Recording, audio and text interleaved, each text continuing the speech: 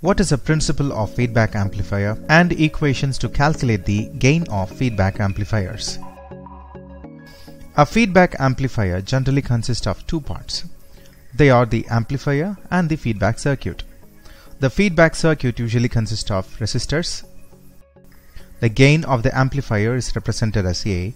The gain of the amplifier is the ratio of output voltage VO to the input voltage V. The feedback network extracts a voltage Vf is equal to beta VO from the output VO of the amplifier.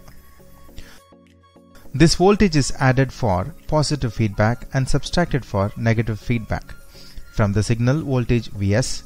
Then Vi equals to Vs plus Vf equals to Vs plus beta into VO. Vi equals to Vs minus Vf equals to Vs minus beta into VO.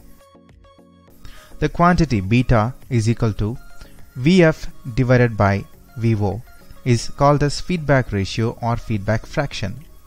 Let us consider the case of negative feedback.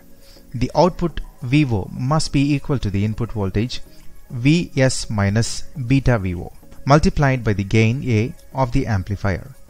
Hence, Vs minus beta VO into a equals to VO. AVS minus A beta VO equals to VO. AVS equals to A beta VO plus VO. AVS equals to VO into 1 plus A beta. Therefore, VO by Vs equals to A by 1 plus A beta. Let AF be the overall gain, that is, gain with a feedback of the amplifier. This is defined as the ratio of output voltage VO to the applied signal voltage Vs. So, AF equals to output voltage by input signal voltage equals to VO by Vs.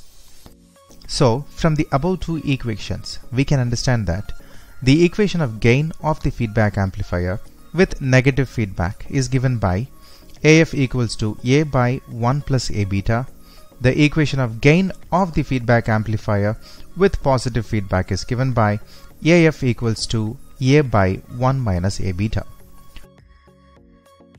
These are the standard equations to calculate the gain of feedback amplifiers.